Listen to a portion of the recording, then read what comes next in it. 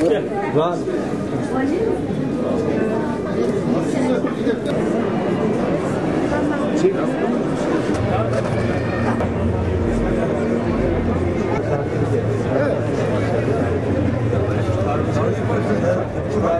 Kaç lira şimdi bunların şeyi? Evet. Çok biraz daha var. Beni sallamaya başladı. neler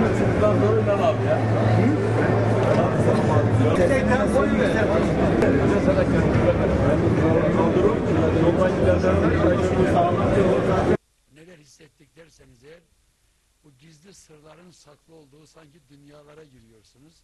İşte orada kendi sinir sisteminizi de kendi ruh dünyanızı da test etmiş oluyorsunuz. Yani ne kadar tepki veriyorsunuz, ne kadar da dayanıklısınız olaylar karşısında.